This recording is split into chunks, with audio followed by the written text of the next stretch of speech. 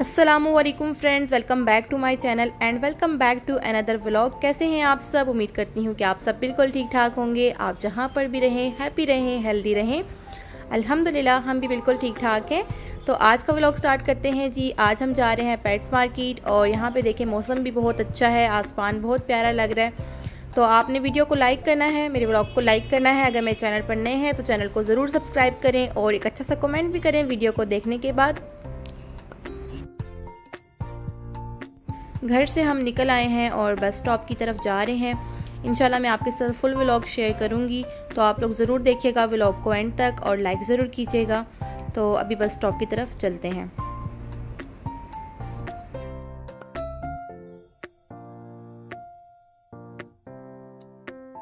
हम bus stop पर पहुँच चुके हैं और बस का वेट कर रहे हैं। और यहाँ पे देखें जी, आसमान कितना खूबसूरत लग रहा है। ढलती हुई खूबसूरत शाम का मंज़र बहुत ही हसीन लग रहा है।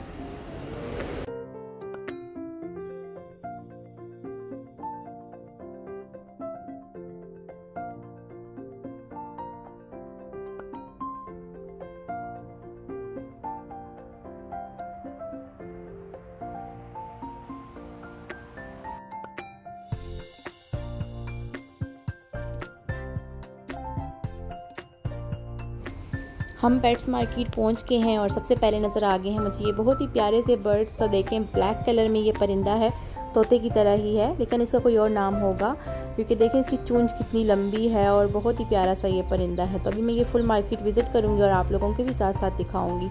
उसके बाद पता नहीं अब ये लिजर्ट्स हैं या फिर ये गिरगिट हैं, मुझे याद नहीं है, लेकिन इनको तो देख के मुझे डर लग रहा था, लेकिन लोग ले भी रहे थे ये। और इधर जी रैबिट्स वगैरह भी हैं और फिर आ जाती हैं, बहुत ही प्यारी सी कैट्स देखें सो रही हैं बेचारी।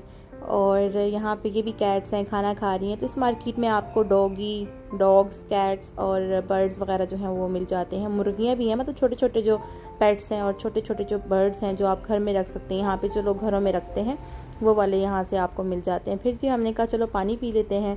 तो अभी हम पानी लेने लगे हैं।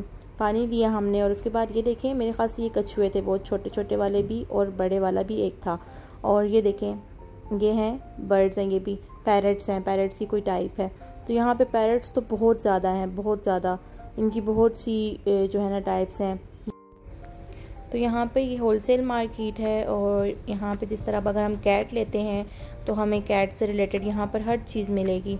और होलसेल मार्केट है तो रीज़नेबल प्राइसेस में जो है ना यहाँ पे चीज़ें मिल जाती हैं। कैट का खाना वगैरह वो देखें, पीछे सब चीज़ें पड़ी हुई हैं। और उसके बाद अगर फ़िशेज़ हैं तो फ़िशेज़ से रिलेटेड हर चीज़ यहाँ पे इजीली आपको मिल जाती है। तो हम भी यहाँ पे फ़िश टैंक से रिलेटेड कुछ चीज़ें लेने के लिए आए हैं।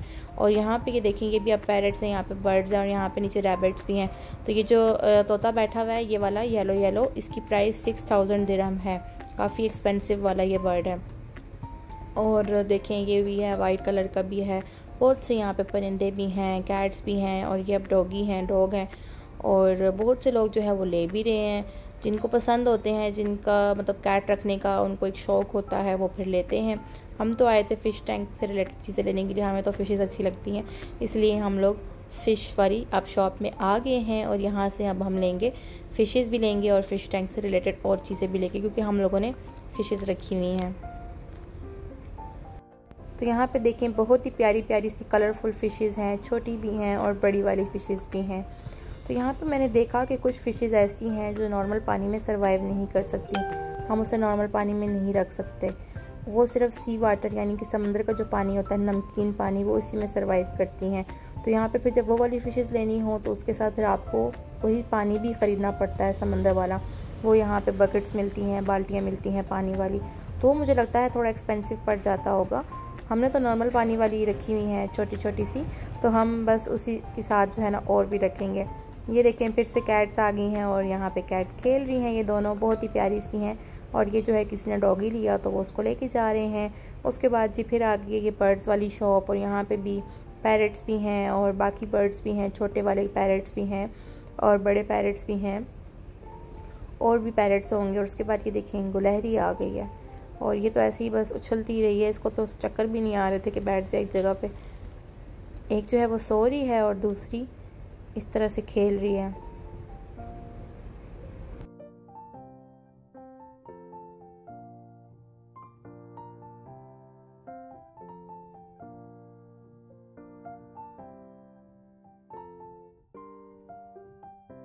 उसके बाद देखिए जी, यहाँ पे मुर्गियाँ और मुर्गा भी है। ऊपर वाले हिस्से में मुर्गियाँ हैं और नीचे मुर्गा भी है।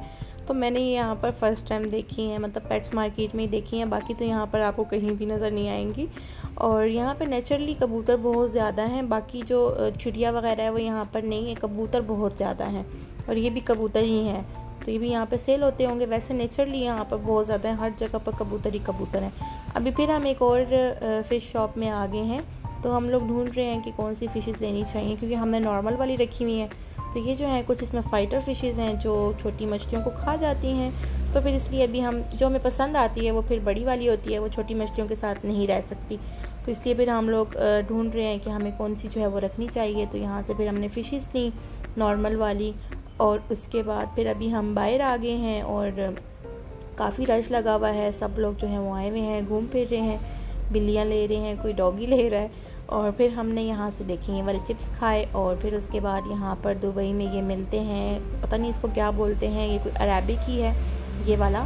तो ये लगता गुलाब जामुन की तरह, लेकिन ये गुलाब जामुन नहीं होता। ये कुछ और चीज़ है, मुझे इसका नाम नहीं आता तो ये खाए हमने।